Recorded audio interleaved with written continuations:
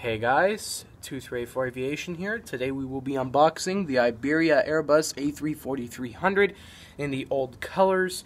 Uh, so we're gonna unbox the aircraft now. Um, I got this the same place where I got my American 76 at the airliner SFO Airliners Collectors Show memorabilia sale. I pretty sure that's not how it said, but um, so they had tons of aircraft there, and I was my parents told me I could only get two of them, so I got the American and I got the Iberia.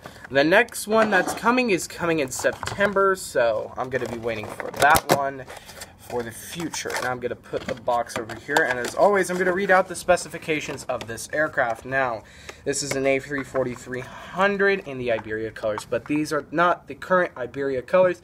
This is the um, older livery because Iberia had I don't believe wanted to change the livery for this aircraft into the new one. So this aircraft has four CFM 56 5C4 engines. Its first flight was on the 1st of February 1998.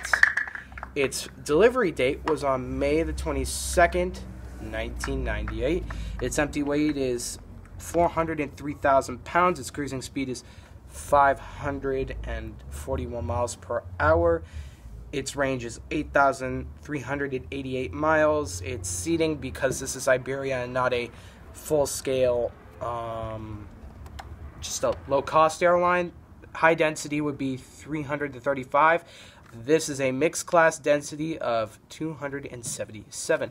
This aircraft I really do like with this livery, and I'm hoping that they could come out with probably one in a newer livery so I could get it. But uh, as I said before, I don't believe Iberia has one of these aircraft in a newer livery. The um, aircraft is. I've noticed uh, gear here rolls.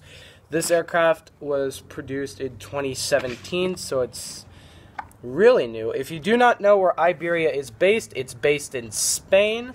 Um, for airport updates coming in the future, this will be heading out to Madrid and Barcelona. So yeah, I do like it is a four-engined aircraft from Airbus. I personally like the A340 more than the A350. I don't know if that would be a really good comparison, but um, this is a classic from Gemini jets. Not really a classic, it was made in 2017, but this aircraft is a classic aircraft. Not many people own this anymore, not people people are operating it anymore. So anyway, I want to introduce two people to our channel. Uh, so my cam my cameraman here, you could say hi if you want to. Hello. And my brother who is also part of this channel. What's up? All right. So we will probably have them speak in more videos in the future. For right now, I'll be speaking in most of the videos for their aircraft that they own. They will be speaking on behalf of those, and yeah.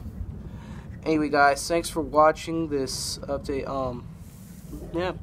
So make sure to like, subscribe, and comment down below your thoughts on the aircraft, and we'll see you next time.